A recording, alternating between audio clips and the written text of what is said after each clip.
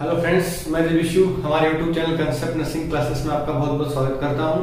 अगर आपने अब तक हमारा चैनल सब्सक्राइब नहीं किया तो प्लीज़ चैनल को सब्सक्राइब करें और बेल आइकन को प्रेस करें ताकि आगे आने वाली सभी क्लासेस के नोटिफिकेशन जो है वो आपको मिलते रहें।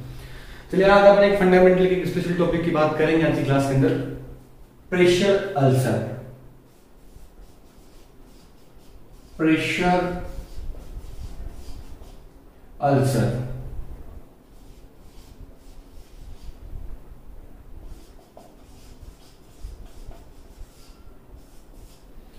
बात करते हैं प्रेशर अल्सर देखो प्रेशर अल्सर जो होता है, उसको और भी कई नामों से जानते हैं।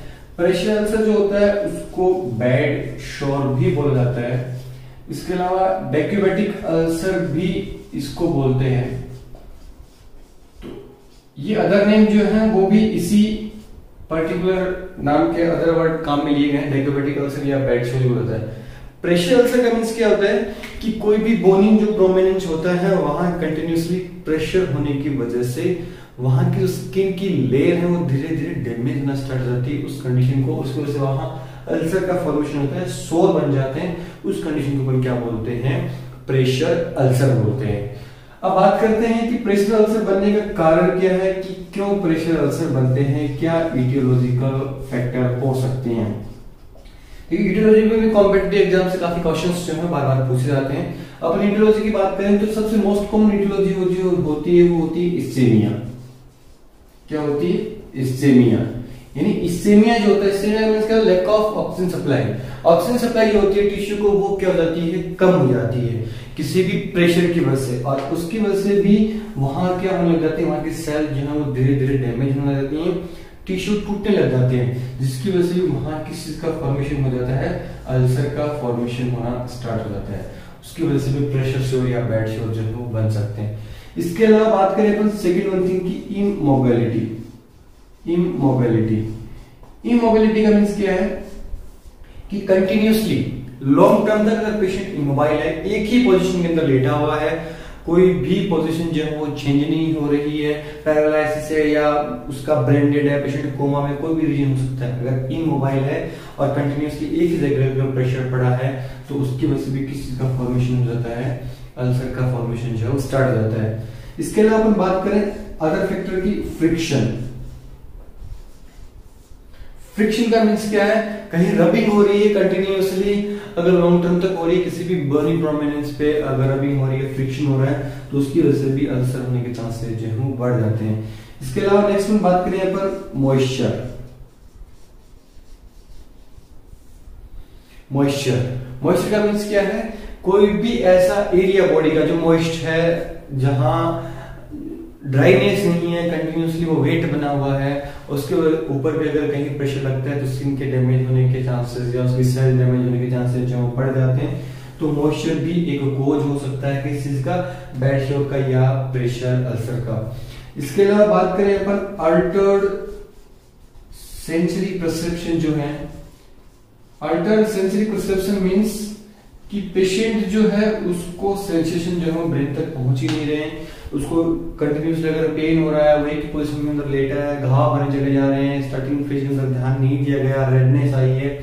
अगर परसेप्शन जो है वो अल्टर्ड है, उस केस के अंदर भी क्या हो सकता है? अल्सर या बैड शोर चांसेस जो है वो हो सकते हैं।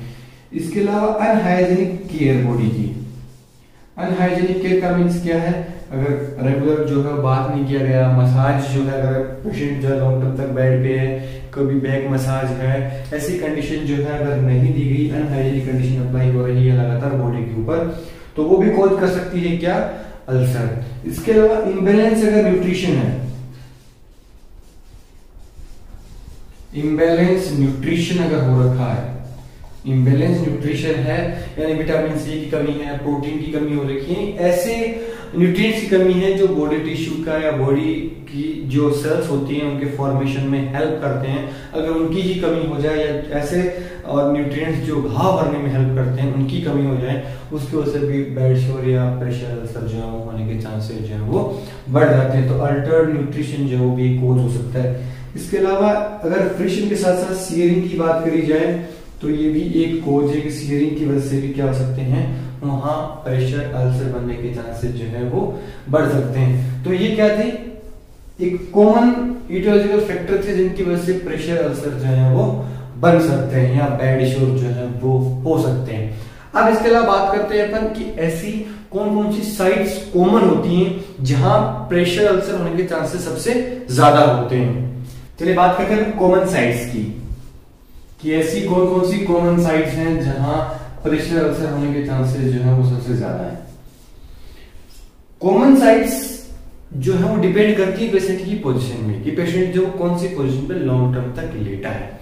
जैसे अपन बात करें सबसे पहले सुपाइन पोजीशन की। फ़र्स्ट वन सुपाइन पोजीशन अगर बात करिए सुपाइन पोजीशन की सुपाइन पोजीशन में अगर पेशेंट लॉन्ग टर्म तक लेटा रहेगा तो उसके कहा, कौन से बॉडी साइड पे अल्सर बनने के चांसेस होते हैं? अगर सुपाइन पोजीशन पे लेटा तो सबसे पहला जो बोनी प्रोमिनेंस जो बेड साइड टच होगा वो कौन सा होगा? ऑक्सीपिटल बोन होगा, यानी ऑक्सीपिटल एरिया होगा। तो ऑक्सीपिटल एरिया पे भी क्या है? घा बनने के चांसेस जो है वो ज़्यादा होते हैं occipital area of the head इसके अलावा सेकंड में बात करेंगे सेकंड में कहाँ से लिखा होता है? पीछे कंधों की तरफ़ से स्केपुला बोन से। तो स्केपुला के ऊपर भी चांसेस होते हैं किस चीज़ के? अल्सर बनने के इसके अलावा सेकंड वन थर्ड वन जो एरिया होता है वो सेक्रम नीचे की तरफ़ टच होता है। तो सेक्रम जो होता है, वो एरिया भी मोस्ट सेंसिटिव एरिया है, जहाँ प्रेशर से बनने के चांसेस जो है वो होते हैं। इसके अलावा बात करें नी जो है back back side of the knee है, वो भी क्या होती है? टच होती है। तो वहाँ भी चांसेस होते हैं कि वहाँ भी अल्सर बन जाए। इसके अलावा लास्ट वन जो होता है, वो टच क्या होता है? सुपाइन पोजिशन में।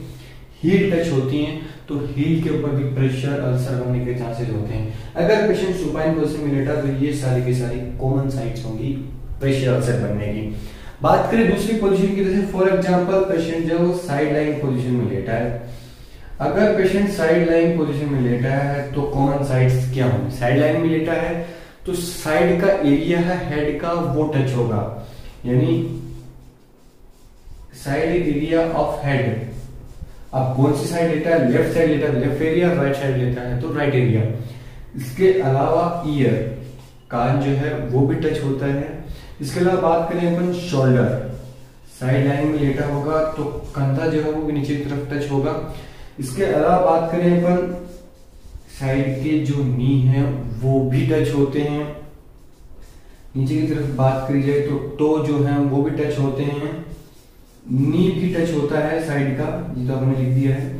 तो ये सारे के सारे जो हैं, वो कॉमन साइड्स हैं जहाँ टच होते हैं। पेल्विक बोन की बात करें तो साइड एरिया जो है पेल्विक बोन का, ये भी यहाँ वाला हिस्सा भी टच होता है। तो यहाँ भी अल्सर बनने के चांसेस जो है वो बढ़ जाते हैं। तो ये क्या है? कॉमन साइड है। यानी कहने का मतलब है कि जो बोनी प्रोमिनेंस जहाँ बोन का उभार है जो पार्ट मैक्सिमम टाइम के लिए कांटेक्ट में आएगा बेड के वो चांसेस ज़्यादा कर, कोच करेगा किस चीज़ के बनने के बेड शोर या प्रेशर अल्सर बनने की। बात करें अपन फाउलर्स पोजीशन की। अगर पेशेंट फाउलर्स पोजीशन में है तो फाउलर्स पोजीशन में भी हेड का पीछे का एरिया टच होता है। वहाँ जो है वो अल्सर बनने के चांसेस है। सेक्रम एरिया वहाँ भी टच होगा। स्केपुला का एरिया वहाँ भी टच होगा। नीचे हील का एरिया उस कंडीशन में टच होगा, जैसे सुपाइन में हो रहा था तो उस कंडीशन में ये भी कोज करेगा। अगर बात करें अपन प्रोन पोजीशन की प्रोन पोजीशन में बात करी जाए तो प्रोन में पेशेंट जब भी उल्टा लेटता है तो ईयर का एरिया और फेस का जो एरिया है, वहाँ अल्सर बनने के चांसेज आगे का जो चिस्ट का एरिया वहाँ बनने के चांसेस जेनाइटल एरिया जो होता है, उसके ऊपर अल्सर बनने के चांसेस नी जो होते हैं, उनके फ्रंट में बनने के चांसेस इसके अलावा मालवेस बोन की बात करें, नीचे की तरफ़ मालवेस एरिया जो होता है, वहाँ अल्सर बनने के चांसेस जो है, वो बढ़ जाते हैं। तो प्रेशर की कॉमन साइड जो है, वो डिपेंड करती है पोजीशन पे कि पेशेंट लॉन्ग टर्म तक कौन सी पोजीशन के अंदर स्टे कर रहा है। जिस पोजीशन के अंदर ज़्यादा स्टे करेगा, वहाँ का बॉडी प्रोमिनेंस जितना ज़्यादा कांटेक्ट में आएगा कंडीशन उतनी ही ज़्यादा वर्ष होगी। चलिए बात करते हैं कि अपन पता कैसे लगा सकते हैं कि प्रेशर अल्सर की सीवियरिटी जो है वो कितनी है? देखिए प्रेशर शोर जो होता है उसको आइडेंटिफाई करने के लिए, उसको डिनोट करने के लिए एक स्केल दी गई थी। ब्रेडन स्केल दो साइंटिस्ट थे। एक था बारबरा ब्रेडन बारबरा ब्रेडन और दूसरा था नैन्सी नैन्सी बी स्ट्रॉन्ग इन्होंने 1987 में 1987 में ब्रेडन स्केल दी थी to denote the severity of pressure ulcer इन्होंने एक स्कोर डिसाइड किया, जिसका मिनिमम स्कोर उन्होंने डिसाइड किया सिक्स उस स्केल का। और मैक्सिमम स्कोर जो है वो डिसाइड किया ट्वेंटी थ्री दोनों क्वेश्चन बन रहे हैं कि बर्डन स्केल का जो मिनिमम स्कोर है वो कितना होता है और मैक्सिमम स्कोर जो है वो कितना होता है। अब इन्होंने भी, इन्होंने, इनके अंदर भी क्राइटेरिया जो है वो डिसाइड करें। क्राइटेरिया कैसे डिसाइड करें कि अगर किसी भी पेशेंट का स्कोर 19 टू 23 आ रहा है तो वो नो रिस्क जोन में है। उसको कोई भी रिस्क नहीं है प्रेशर अल्सर होने की। अब ये क्राइटेरिया जो डिसाइड किए, उन्होंने कुछ सब स्किल के ऊपर डिसाइड किए। वो सब स्किल्स क्या थी? उन सब स्किल्स की बात करें, उनके अंदर फ़र्स्ट वन एक था फ्रिक्शन या बात करी जाए सीयरिंग की। सेकेंड वन था न्यूट्रिशन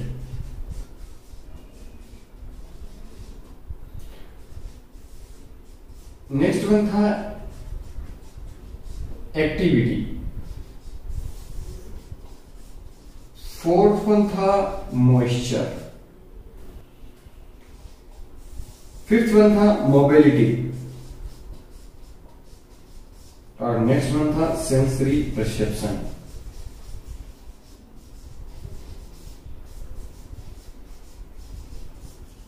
सेंसरी परसेप्शन ये छह क्राइटेरिया थे, छह क्राइटेरिया के बेसिस के ऊपर उन्होंने ग्रेडिंग स्केल का स्कोर जो डिसाइड किया। यानी ये कॉजिंग फैक्टर हो सकते हैं, कौन सी चीज़ जो वो कितनी अफेक्ट कर रही है, उसके हिसाब से उन्होंने स्कोर डिसाइड किया, जो मिनिमम सिक्स था और मैक्सिमम ट्वेंटी थ्री था। अगर किसी पेशेंट का स्कोर 90 टू 23 आता है तो वो नो रिस्क जोन में है। इसके अलावा नेक्स्ट में बात करिए कि 17 टू 19 के अगर इन बिटवीन आता है तो माइल्ड रिस्क जोन में है, उसको रिस्क है कि अल्सर बन सकते हैं। यही स्कोर जो है वो 15 टू 17 अगर हो रहा है तो वो मॉडरेट रिस्क में आ रहा है।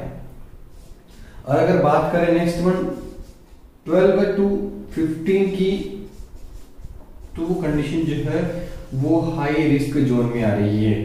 और नाइन से कम या कंडीशन जो है सिक्स और नाइन के बिटवीन आ रही है। तो बहुत ही सीवियर कंडीशन है कि वहाँ क्या होने के चांसेस हैं अल्सर बनने के चांसेस बहुत ज़्यादा है। तो ये उन्होंने अलग अलग क्राइटेरिया जो है उस स्केल का डिसाइड किया था। अपने को याद रखना कि ब्रेडन स्केल के माप के अगर जो छह मापदंड हैं, वो कौन कौन से? छह क्राइटेरिया कौन कौन से जिसके बेसिस के ऊपर ब्रेडन स्केल का स्कोर डिसाइड किया गया। ये छह स्कोर ध्यान रखना चाहिए। क्योंकि कोई भी तीन ऑप्शन में होंगे, एक नहीं होगा। अगर आपने सक्सेस पूछा कि कौन सा ब्रेडन स्केल का पार्ट नहीं है तो अपने को ध्यान में ये छह होने चाहिए। छह के अलावा कौन सा इसका पार्ट जो है वो नहीं है। डी किसने थी? बारबरा ब्रेंडन ने और नैन्सी डी स्ट्रॉन्ग ने 1987 के अंदर। ब्रेंडन स्केल जो थी वो इन्वेंट हुई थी। इन्वेंट करने के पीछे पर्पज क्या था? कि प्रेशर या ब्लड शॉट जो है उसकी सीवियरिटी का पता लगाना। अब बात करते हैं इसके प्रिवेंशन की और ट्रीटमेंट की, कि प्रिवेंशन कैसे होगा और ट्रीटमेंट कैसे होगा। सबसे पहले बात करें अपन प्रिवेंशन की, कि अपन बचा ही कैसे सकते हैं कि पेशेंट को क्या ना हो बेड शोर हो ही ना। बेड शोर हो ही ना, सबसे पहले तो अपने को कोई भी ससेप्टेबल पर्सन होता है, उसको आइडेंटिफाई करना है कि पेशेंट की ससेप्टेबिलिटी कितनी है। ससेप्टेबिलिटी का पेशेंट का पता कैसे लगेगा? एडवांस एज है कि नहीं है? पोजिशन चेंज कर सकता है कि नहीं कर सकता है? पेशेंट किस कंडीशन से, किस बीमारी से सफ़र कर रहा है? तो अपने को सबसे पहले ससेप्टेबिलिटी का जो है पता लगाना है। इसके अलावा कंटिन्यूसली अगर पेशेंट बेड रिटर्न है तो कंटिन्यूसली उसकी पोजीशन जो है वो चेंज करते रहनी है और पोजीशन का टाइमिंग क्या होना चाहिए? टू आवर्ली हर दो घंटे से पेशेंट का पोजीशन जो है वो चेंज करते रहना है। पेशेंट को जब भी वॉश करवाया जाता है तो वॉर्म वाटर और विथ सोप करवाओ। Warm water with soap alcohol जो है, वो कभी भी यूज़ में नहीं लेनी। एल्कोहल से पेशेंट को रब जो है वो नहीं करना है। इसके अलावा कोई भी एयर मेट्रस है, या मेट्रस विद वाटर है वाटर का मेट्रस है, पानी भी भरा होता है मेट्रस के अंदर। वैले, वैसे वाले मेट्रस जो हैं वो काम में लेने हैं ताकि वो फ्लेक्सिबल हो, वो प्रेशर नीचे जनरेट ना करें ताकि किसी भी बोनी प्रोमिनेंस पे प्रेशर पड़े। इसके अलावा हाइजीन जो है वो कंटिन्यूसली मेंटेन रखनी है। यानी मसाज वगैरह पेशेंट की बैक मसाज है, जो जो एरिया है, वहाँ डेली वाटर से क्लीन होना चाहिए वार्म वाटर से क्लीन होना चाहिए, ज़्यादा प्रेशर उनके ऊपर वह अप्लाई नहीं करना है।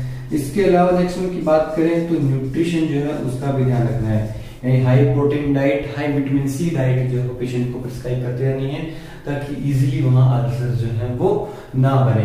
तो ये कुछ रीजन हो सकते, कुछ कारण हैं जिनकी वजह से अपन जो है बचा सकते हैं कि पेशेंट को क्या ना हो डेविटिक अल्सर या बैड श्योर या पल्सर श्योर जो ना इसका सबसे मेन रीजन ये कि पेशेंट का अगर प्रिवेंशन बात की जाए तो पेशेंट की पोजीशन सबसे इंपॉर्टेंट चीज़ होती है पोजीशन कंटिन्यूसली पेशेंट की, पर टू आवरली चेंज करते रहना है। तो ये हैं सारे के सारे प्रिवेंशन अब बात करते हैं अपन ट्रीटमेंट की क्या इलाज हो सकता है अगर जो है वो प्रेशर श्योर हो जाए तो। बात करें अपन ट्रीटमेंट की।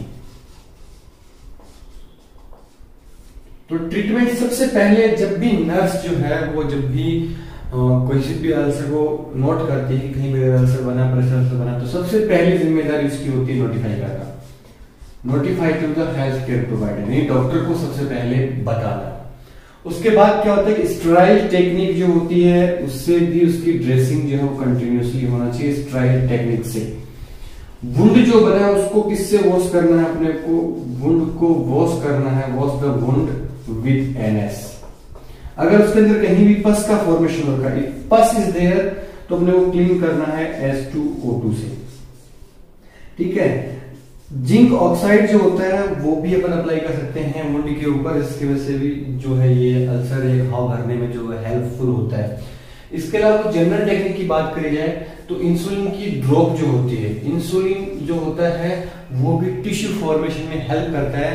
तो इंसुलिन ड्रॉप जो होती है, वो भी डाली जाती है, अगर कहीं घाव बना है तो। इंसुलिन डाल दो, उसकी वजह से भी। इसके अलावा ग्रेनुलेटेड शुगर जो होती है ग्रेनुलेटेड शुगर कहीं घाव बना है तो उसके अंदर चीनी डाल दी जाती है, उसकी वजह से भी घाव भरने के चांसेस जो है वो बढ़ जाते हैं। तो इसकी वजह से, इसके अलावा जो भी एंटीसेप्टिक ऑइंटमेंट है, जो डॉक्टर ने प्रिस्क्राइब किया है, वो कंटिन्यूसली विद स्ट्राइल टेक्निक अपने को ध्यान में रखना है, क्योंकि इन्फेक्शन होने के चांसेस ज़्यादा होते हैं। जब भी ओपन वुंड मिलता है तो अपने को ज़्यादा से ध्यान रखना है कि वुंड को कवर अप रखा जाए। एक्सटर्नल एनवायरमेंट या इन्फेक्शन होने से वहाँ बचाया जाए अदरवाइज़ कंडीशन और भी वर्स होने के चांसेस जो है वो बढ़ जाते हैं। तो ट्रीटमेंट अपने पूछा सकता है कि प्राइमरी रिस्पॉन्सिबिलिटी क्या होगी कौन कौन सी चीज़ें अपन काम में ले सकते हैं या प्रेशर अल्सर का वुंड कौन से सॉल्यूशन से क्लीन किया जाता है आंसर होगा नॉर्मल सलाइन तो ये क्या था? प्रेशर अल्सर एक इंपॉर्टेंट टॉपिक था। काफ़ी बार छोटे छोटे क्वेश्चन जो है यहाँ से पूछे जाते हैं। पोजीशन के ऊपर भी जाता है ब्रेड एंड स्केल किस लिए काम मिल जाती है, यहाँ से भी क्वेश्चन आता है। वैसे तो क्लासिफिकेशन भी होता है प्रेशर अल्सर का, कि क्लासिफाई भी किया गया stage one two three four और फाइव में। वो भी सारे के सारे सीवीटी के बेसिस पे चलिए अपन बात करते हैं क्लासिफिकेशन की। तो जैसे स्टेज वन जो होती है, उसके अंदर लोकल रेडनेस होती है, हल्का हल्का पेन होता है, इससे नहीं होता है इससे अलावा कोई भी सिम्टम जो है वो नहीं आते। स्टेज सेकेंड की अगर बात करी जाए तो ऊपर की एपिडर्मिस जो होती है सेकंड स्टेज के अंदर एपिडर्मिस जो वो डैमेज हो जाती है और लिटिल बिट डर्मिस भी इन्वॉल्व हो जाती है। बात करें अपन थर्ड स्टेज की तो थर्ड स्टेज के अंदर एपिडर्मिस डर्मिस और इसके नीचे सबक्यूटेनियस टिश्यूज होते हैं, वो तीनों के तीनों इन्वॉल्व हो जाते हैं, जिसकी वजह से घाव बहुत सीवियर होता है, बहुत सीवियर पेनफुल होता है। फोर्थ स्टेज की बात करें तो सबक्यूटेनियस तक तो घाव पहले ही पहुँच चुका है। फोर्थ स्टेज के अंदर बोन और मसल्स जो है, वो भी क्या जाती हैं। इन्वॉल्व हो जाती हैं। और लास्ट जो स्टेप होती है, वो होती है फिफ्थ स्टेज फिफ्थ क्लासिफिकेशन जो है लास्ट क्लासिफिकेशन जो अनक्लासिफाइड है अनस्टेजेबल है। यानी कोई भी स्टेज नहीं होती है। पूरा का पूरा एरिया जो है, वो इन्वॉल्व रहता है। अदर सराउंडिंग जो टिश्यू है, वो भी इन्वॉल्व रहते हैं। गहरा घाव बन जाता है। जिसकी कोई भी स्टेज के अंदर उसको क्लासीफाई नहीं किया गया। उसका पर्टिकुलर नाम दिया गया स्टेज फिफ्थ जो सबसे सीवियर अल्सर जो है, वो होते हैं, वहाँ ट्रीटमेंट के कोई भी चांसेस जो है लगभग ज़ीरो होते हैं। तो ऐसे प्रेशर को क्लासीफाई भी किया गया हो। सकता है कि यहाँ से भी क्वेश्चन आ जाए कि सेकंड स्टेज के अंदर कौन, कहाँ तक इन्वॉल्वमेंट होता है थर्ड स्टेज के अंदर कहाँ होता है फोर्थ स्टेज के अंदर कहाँ तक होता है। तो ये था प्रेशर से उम्मीद है कि आज का टॉपिक जो वो देसी था, कुछ इंपॉर्टेंट क्वेश्चन थे। आपने कैद किए होंगे। इम्पोर्टेंट एग्ज़ाम जो कॉम्पिटेटिव एग्ज़ाम होते कई बार पूछे जाते हैं। अगर आज क्लास आपको अच्छी लगी हो तो वीडियो को लाइक करें, वीडियो को ज़रा सा शेयर करें और कंटिन्यूसली हमारे YouTube channel Concept Nursing Classes से जुड़े रहें। अभी हमसे जुड़ने के लिए आपका बहुत बहुत धन्यवाद। Thank you